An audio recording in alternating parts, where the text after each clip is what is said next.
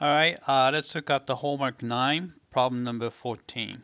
All right, so uh, let's evaluate this uh, indefinite integral.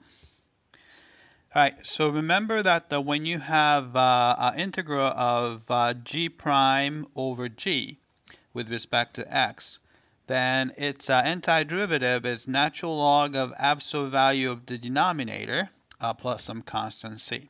All right, so we almost have that format here uh, except that we have to uh, rescale a little bit. So you have to have the, the right constant on top. All right, so uh, you can see that um, here, um, denominator here, right? So this is going to be our g of x, right? And you can do a little uh, computation on the side. Uh, so g prime that we need would be, all right, derivative of 4 is 0, so it goes away. Derivative of 5x to the 6th power, so 5 times 6 is 30. And then we subtract 1 from the power, so it's going to be a fifth power. All right? So you can see that we almost have that, but except that we need 30 in front of uh, x to the fifth, right? So we need um, we need this guy right here. Alright, so what you can do is you can multiply top and bottom by 30. Alright, so we're going to do that. So we're going to multiply top top and bottom by 30. Uh, maybe I'll do it uh, this way. So I'm going to put 30 over 30. Right? 30 over 30, if you simplify it, it's 1. So you're basically multiplying by 1. Right?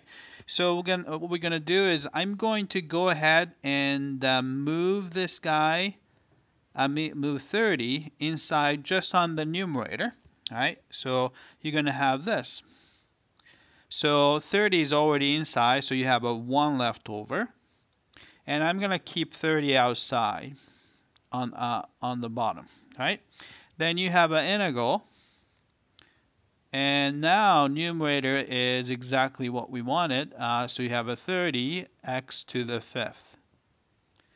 All right, denominator is uh, 4 plus 5x to the sixth power uh, with respect to x. All right, now we have the exact format so we know what to do. So this is going to be equal to 1 over 30